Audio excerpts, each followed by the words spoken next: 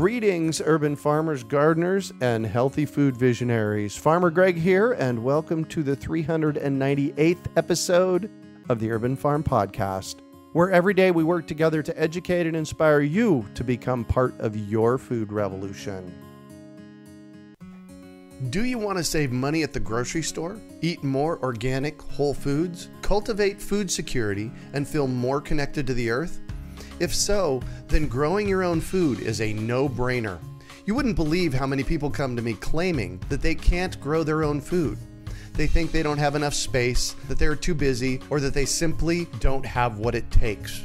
Perhaps you've fallen for one of these gardening myths. If you think you can't grow food, or if you think the only food that you have access to is what you buy in the grocery store, I have a life changing webinar that you need to see. It's free and will help you unearth your inner gardener.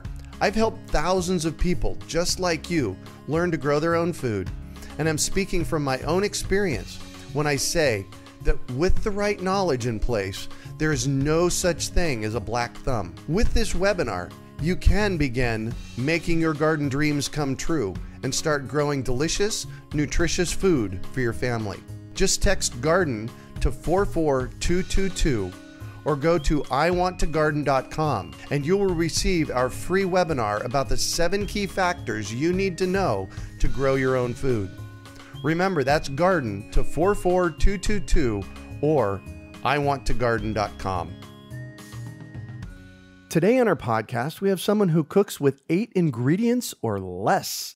We're talking with Brandi Doming about delicious vegan meals. Brandi is the creator of the popular blog The Vegan 8. She is also a mom, wife, and designer. Her blog was voted a top 21 vegan blog of 2016 by the hugely popular vegan magazine VegNews. She's appeared regularly in Forks Over Knives magazine and was featured in the documentary Eating You Alive. She lives with her husband and daughter in Houston, Texas. Her new cookbook is The Vegan 8 100 Simple simple, delicious recipes made with eight ingredients or less. Welcome to the show today, Brandi. Are you ready to rock? I sure am. Thank you so much for having me. Excellent. So, I shared a bit about you. Can you fill in the blanks for us and share more about the path you took to get where you're at today? Absolutely. My story is basically how we came to heal my husband's gout through a plant based vegan diet. He started getting gout in 2005. That's when he had his first flare up. And for those that are not familiar with gout, it's basically the buildup of uric acid in the body. And when there's too much uric acid,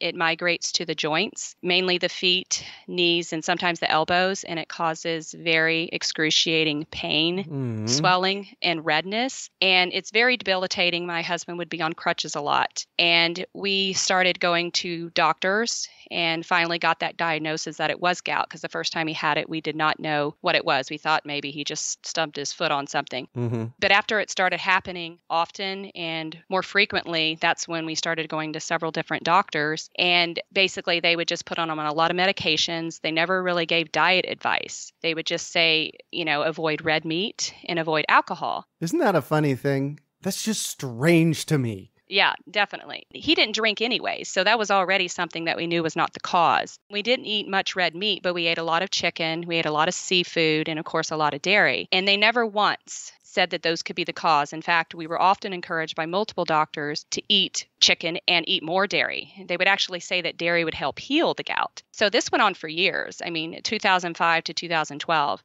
Wow. It literally became a very difficult way of life because I became fearful to cook because I was always worried if what I was going to cook was either going to hurt him or help him. It was a very hard way to live. It affected our travels, it affected our plans, and he would be on crutches sometimes for two to three weeks. Wow. Yeah, as soon as one foot would heal, then the other foot would flare up. It went on like that forever. So after my daughter was born in 2011, becoming a new mom, I was dealing with postpartum depression and trying to take care of a new baby and my new identity as a mother. And he had gout almost that entire first year after her birth. Mm-hmm. And so I was taking care of her and him. And I reached a point where I just couldn't do it anymore. It became too difficult. And that's when I started researching plant based and vegan. I don't know how I came across it, but I'd already tried everything else. I'd already tried tried removing every other type of food and adding foods and getting all this contradicting advice, that that's when I thought, well, hey, can't hurt to try this. Once we finally adopted a whole foods plant plant based diet and I started making everything homemade, within, I say, about two to three weeks, his gout started to go away. Seriously? Absolutely. That fast? Yes, it was that fast. And it stayed away. That was the key. I thought, oh my gosh, okay, he has no gout. It's been a few weeks. Let's keep this going.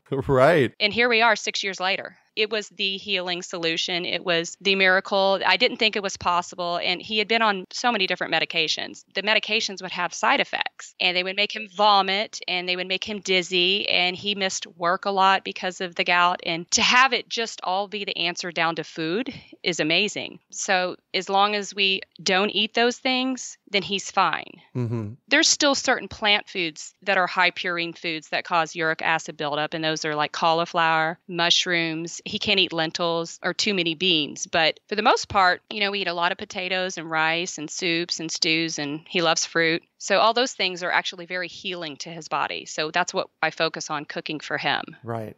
Wow. This has been an extraordinary journey for you. Yes, definitely. And now, of course, my daughter has been raised vegan. So it just totally changed the whole direction of our life. Food, just food. Right.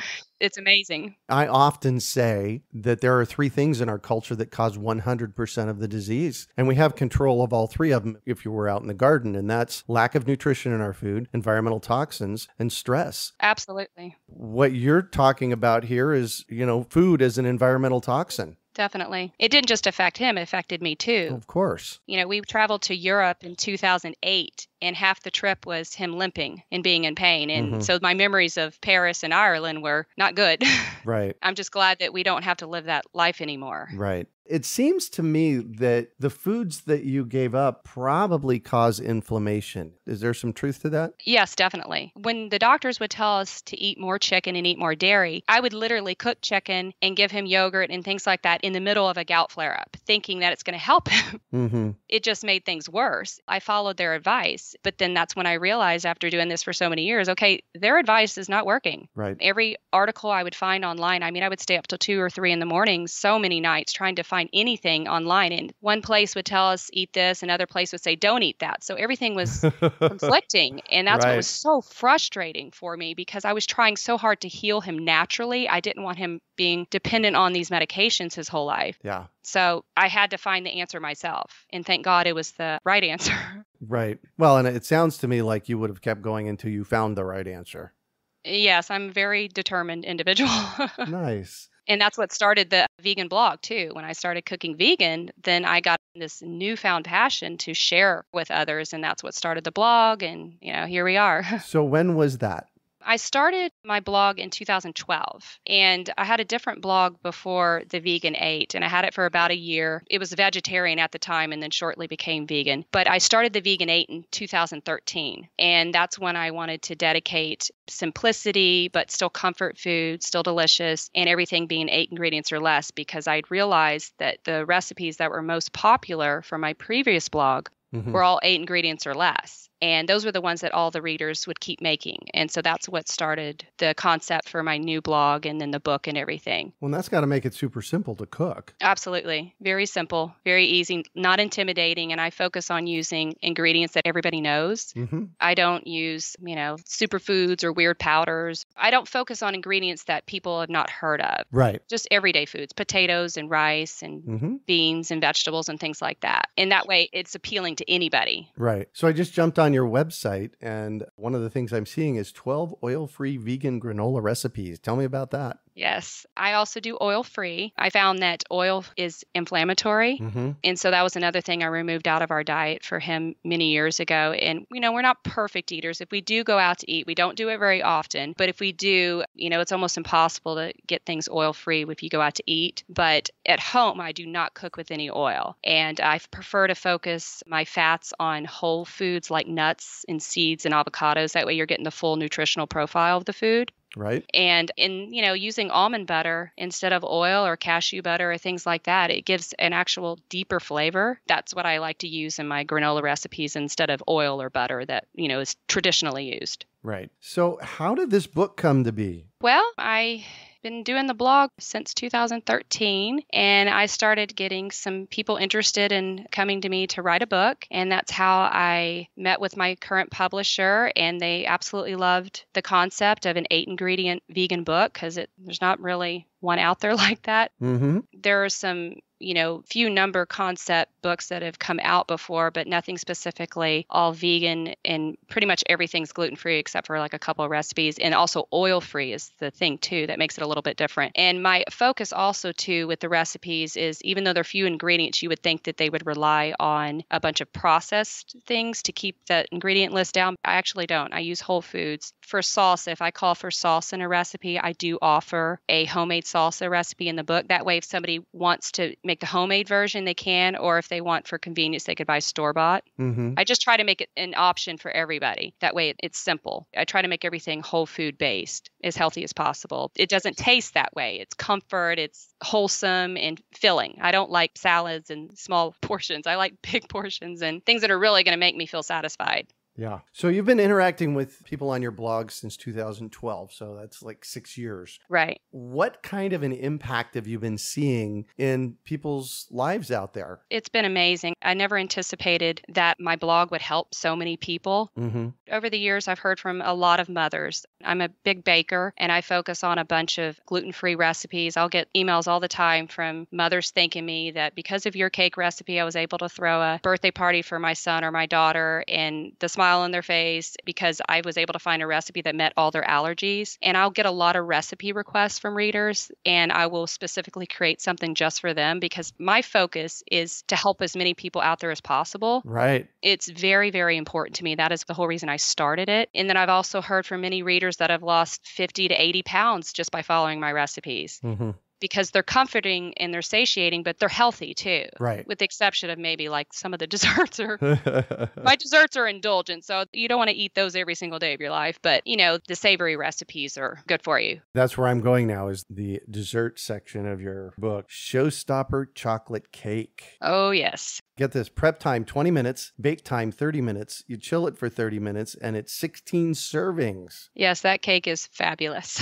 that is my favorite chocolate cake I've ever created or eaten. And my mother said the same thing. My mother is not vegan, and ever since I created that recipe many months ago, she's made it every single month since then. She loves it that much. Wow. It tastes just like a traditional chocolate cake, you know, with oil and eggs and butter and all that. And it really, truly does. You cannot tell a difference. Nice. It's not fat free, it's just made differently. Right. It'll still put on the pounds if you eat all 16 servings. Oh, definitely. it's not a diet cake, that's for sure. It's an indulgent one. This also has wheat in it. You had mentioned gluten free, but there is wheat in this one. Yes, but I do offer a gluten free version under the notes for people that do avoid gluten. I tried to make the book available to people who are gluten free or not. You know what I mean? Like some people, you don't care about gluten. So I tried to offer two versions for everybody so it could be a fit for anybody. Yeah. It was a lot of testing, but worth it. Right. One of those things, though, out there that causes a lot of inflammation is wheat. Right. You know, so we have to be super conscious about that. And one of the challenges that we have with this is that diet plans or ways of eating aren't a one size fit all. So we have to actually go out there and discover what works for ourselves. Have you found that? I totally agree. Not everybody gets gout if they eat seafood. Right. But if you give one plate of shrimp to my husband, which he hasn't had that in years, but back then he'd be laid up on crutches for two weeks. Wow. Of course, I've never had a problem. I'm not prone to it. But some people, like you said, they just react differently to different foods. But I do believe that a plant based diet is healthy for everybody. The more fruits and vegetables you can get in your diet is a benefit to anybody. So I'm not a vegan. I'm not a vegetarian. I'm mostly vegetarian. Uh huh. and the impact that meat has on the planet as far as resources to make it happen is huge. So, you know, that's one of the big reasons, you know, I avoid meats for the most part is that, you know, there's an environmental impact that goes along with them. Right. There's a lot of people who like to adapt like meatless Mondays or try to just eat less meat, even if they don't omit it completely. It's great, you know, to at least reduce it. Yeah, exactly. So Janice told me a quick story this morning. Janice is the podcast producer and manager of all things that we do here. She said that you giggled with her and said, you know, I don't really grow anything. I don't have a green thumb. Any kind of plant that I've ever bought, whether it's basil or, you know, rosemary, that none of them survived in my possession. I've been able to keep two little cactuses alive for like a year, but that's it. It's probably really hard to kill a cactus, though, I'm guessing. So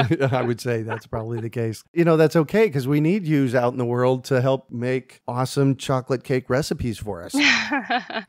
yeah, and for those that are growing their own food, well, now you have some yummy recipes. Exactly. So there's a hundred recipes in this book. Do you have a favorite one? That's so hard to pick. On page 133, it says my favorite savory meatless bean balls. Yeah, that's probably my favorite meal type of food. I mean, it's not a dead ringer for meat, but I wasn't trying to make it taste exactly like meat, but you won't miss the meat, that's for sure. It's hearty and chewy and a thick texture. My brother is a big fitness person. He lifts weights and he is definitely a meat and potatoes kind of guy, and he Uh-huh. absolutely loved them. There's a barbecue sub meatball sandwich on the next page. I think it's after that one. And he like ate like three of them back to back. And he loves meat. But I wanted it to appeal to anybody and for the person not to care whether it's meat or not. It's just delicious. That's the thing. But yeah, I, that one. And then also, I really like the cream cheese spinach artichoke dip in the book. Oh, uh-huh. That one's really, really good. It's very rich and decadent. And of course, the whole dessert chapter. I love chocolate. So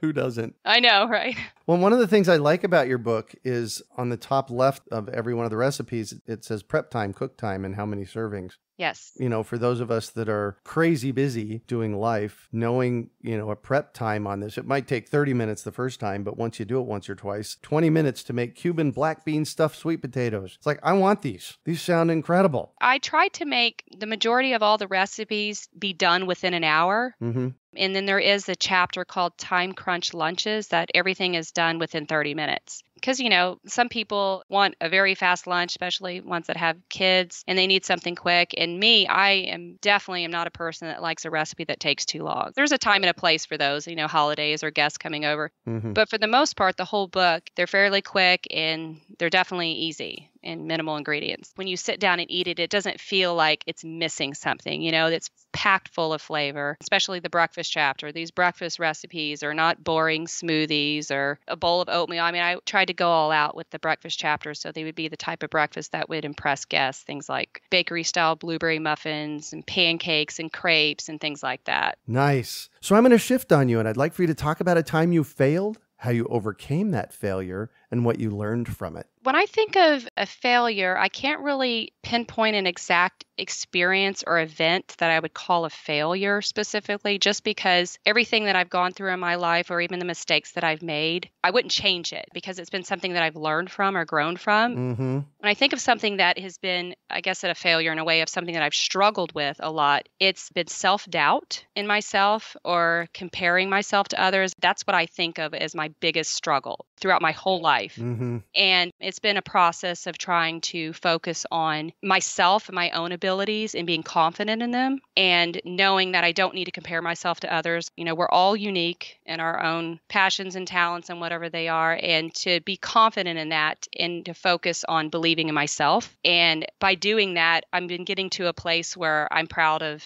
who I am and what I'm doing. And that's what helps me to overcome self doubt. Yeah. Well, and that self doubt, for me, it sounds like this voice that shows up in my head that says stuff like, and maybe it's not even hearing it say it, but it's just what comes up for me is like, who are you to think that you can do that? And that kind of stuff, right? Yeah, it's been a battle for me for my whole life, honestly. But I mean, it's blogging in a weird way has actually helped me because I've been able to connect with people all over the world and help them. And that has actually helped boost my confidence because all I've ever really truly wanted to do in whatever career path I went was ultimately to be that it was helping somebody else, but at the same time, it be something that I enjoy Right. and I've finally reached that. I've gone through so many different career choices, and none of them ever filled my heart the way this does. Sweet. The blogging has helped me Yeah. to overcome that. Yeah. So for me, in about 2004, I was able to distinguish that ego, the voice, the one that says, Who are you to think? And I actually had a conversation with it and I told it to shut up. I did. You know, I was looking straight ahead and all of a sudden I turned to the right and I looked up toward the ceiling as if I was talking to somebody up there that's, you know, more powerful than me, right? Uh huh. I said, listen, what I'm up to in the world is much more important than whatever you have to say. So just shut up. But that's good. You got to. I mean, I do that to myself too. I self talk myself now when I start feeling like overwhelmed or struggling or nobody's going to like this or this is going to fail or whatever those bad thoughts. I'm like, Mhm. no, no, no, no, no, no. I'm like, no, you are strong. You are confident. Yeah. You have abilities, you have something to offer people. You know, you're full of confidence. And you know, that does help. I have to self-talk myself a lot, but Mhm. it works. Right. You got to stick with that mindset and those thoughts as opposed to the negative ones or they will take over. Right. But it's a process. You know, there's this story, and Elder was talking to a younger person in this organization, and I may not be getting it all right, but the younger person was saying, How do I control the voices in my head? And the elder said, Which one are you feeding? right. Exactly. You know, which voice are you feeding? Because that's the voice that gets louder the more you feed it. Absolutely. And I let too many years go where I would, you know, feed the negative voice. And you literally have to cover it with the positive. And that's Right. why for me, I have to say it out loud. Mm-hmm. It, it does, it quiets the other one. You just keep doing it. Yeah. Well, when I had that conversation, when I looked up to the right, I verbalized it. I said it out loud. Right. I know for the past couple of minutes, we've been diving into this conversation, but for me, this is one of the most, I'm getting chills right now sharing about this. This is one of the most important turning points of my life is when I actually got to a place where I was able to distinguish that noise that was going on and do something about it. That's awesome. It sounds to me like you did the same. So, Yes. you know, for those of you listening out there, start listening for what you're telling yourself and change that. Right. I used to say, "Ah, I can't do this. I mean, I literally would say out loud constantly, I can't do this. And my husband has always been the one to say, You can do this. I mean, he has been, he's helped me too, because he's always believed in me more than I believed in myself. So, you know, having people around you that are a support system too, that encourage you as opposed to just jump on the negative train, you know, that's important too. Big time. I have Heidi's my sweetheart, and she's huge for that for me. Yeah, you need that. You got to have somebody who helps you. Yeah. So, what do you consider your biggest success? Well, I would say two things becoming a mother. Becoming the mother to my daughter Olivia is my greatest achievement. There's nothing that is more important to me than being a mom. But then, as far as a specific success, I would say it would be finding the solution to heal my husband Oh, huge. because our lives completely changed. Everything changed. And if it weren't for me finally saying, okay, we're going vegan, and him going, uh, okay, that was me. That was my decision. It was not his decision. But, you know, when you're in pain almost all the time, he was at the point where he was just ready to do whatever because we'd already tried everything else. right. Doing that, that's definitely my biggest success. Well, and it was a win for everybody involved, it sounds like. You know, other people are in my life as well. I mean, I have so many people in my family now that eat vegan so much more and eat so many more vegetables. And it's awesome to see the trickle effect. I love that, the trickle effect. Cool. So, what drives you? What drives me is I would bring it back to my blog again, knowing that I'm helping people. I have days where I'm, you know, frustrated or maybe having a down day and I realize, wait a sec, I got to remember why I do this. I got to remember my focus. And it's knowing that I'm helping other people. I mean, I get so many wonderful messages from readers telling me that my recipes have changed their life. Getting those kind of messages, that drives me. It makes me remember that this isn't about me. That's not why I started it. It's never been about me. I mean, the whole reason why we went vegan was not for me, it was for my husband. I just did vegan with him to support him. Yeah. And of course, it ended up changing my own health. So that's what drives me, knowing that I'm helping other people. For those of you out there listening that aren't vegan and you're, you know, devout meat eaters, which is fine, Right. There are so many recipes and so many ways to eat that I've discovered over the past couple, three years playing with this that it's just extraordinary food. Yes. And there's so much variety. Yeah. I mean, there's so many different ways you can make different types of cuisines and recipes with the same, like chickpeas, for instance. Oh my gosh, you can make chickpeas in 10,000 different ways, I've discovered. I eat so much more variety now than I ever did because Mhm. I have so much fun with it. All these different flavor combos, too, that I find to be so much more fun now. Because before, we would eat the same things over and over and over. Right. So, if you could recommend one book for our listeners, what would it be and why? It would be The Power of Positive Thinking by Norman Vincent Peale. Imagine that after the conversation we just had, right?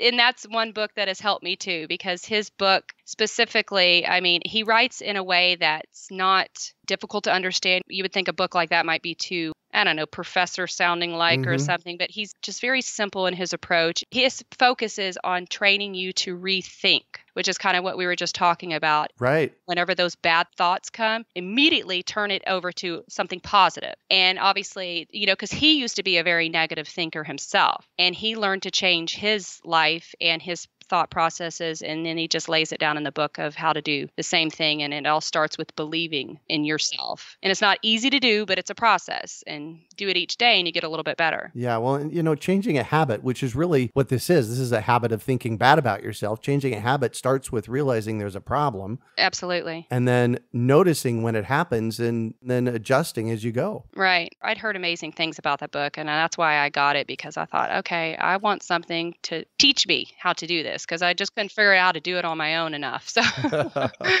the book's wonderful. That's why I asked this question, is because the books are wonderful. Absolutely. So, what one final piece of advice do you have for our listeners? I would say find what it is that when you think of what you're most passionate about or that you love doing, find out what that is, figure it out what that thing is, and immerse yourself in it, be confident in it, go after it, trust in your abilities, and pursue it. For me, it was finding a way to help people. And of course, that's through cooking. And I had no idea where my life would go, but I decided to start a blog and immerse myself fully in it, devote myself to it. And it's completely been amazing direction of my path. I never in a million years would have thought that I would be writing a book, uh, certainly not a cookbook. So just find that thing and, and be confident enough to go after it. Nice. Well, thank you so much for joining us on the show today, Brandi. Thank you so much for having me. It's been fun. Absolutely. And we have a special offer for our listeners today that you've offered, and you're going to give away some books. Yay. Yeah, some of your book, The Vegan Eight. So, what we're going to do is email Janice and the email is podcast at urbanfarm.org. And put in the subject line, I claim my book. For the first few people that reach to us, we'll send that out to you. Sounds great. So, how can our listeners get a hold of you? They can reach me on my website at thevegan8.com. I have a contact page on there and they can reach me. I got an email address on there. They could reach me through there. And I always respond to all my messages. So just give me a couple days. I will be there. Awesome. You can also find show notes from today's podcast at urbanfarm.org forward slash vegan eight. We are your urban farming resource. You can find our podcasts on iTunes, Google Play, Stitcher, and iHeartRadio. Also visit urbanfarm.org to find articles, podcasts, webinars, courses, and more. Well, that's it for today. Thanks for joining us on the Urban Farm Podcast. Claiming your inner urban farmer is easy. Grow food, share it, and name your farm. Then let the world know you're an urban farmer while supporting our podcast. Pick up your Urban Farmer bling, hats, and t shirts at I'mAnUrbanFarmer.com. We hope you enjoyed today's episode of the Urban Farm Podcast. Remember to listen for tips, advice, and resources to help you on your journey with urban farming. You can find us on the web at urbanfarm.org or send us an email to podcast at urbanfarm.org. In the words of Vincent van Gogh, great things are done by a series of small things brought together. Be encouraged that with each lesson learned and skill developed, you are one step closer in the direction of your dreams.